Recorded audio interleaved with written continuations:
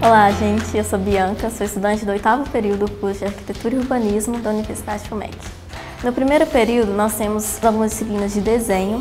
Nós não precisamos saber, chegar sabendo desenhar. A gente aprende tudo aqui. No segundo período, nós tínhamos a matéria que chama maquete. Sou apaixonada com maquete. Virei monitora de maquete no terceiro período e fiquei cinco períodos como monitora. Em janeiro desse ano, 2018, eu fiz um estágio de 30 dias no escritório Regina Massa Arquitetura. Foi uma experiência maravilhosa. Eu fiquei principalmente desenvolvendo um modelo 3D. Tinha um projeto no AutoCAD, que é um programa que a gente usa sempre, e para ter um modelo tridimensional, nós usamos o SketchUp. Na hora de apresentar ao cliente, nós mostramos a planta. Para ele ter uma ideia mais clara de como funciona, a gente mostra ele o modelo 3D. E é muito bom porque foi o meu primeiro contato com o cliente. Então, gente, venha conhecer o curso de Arquitetura e Urbanismo da FUMEC. Eu sou apaixonada pelo curso e espero que vocês gostem também.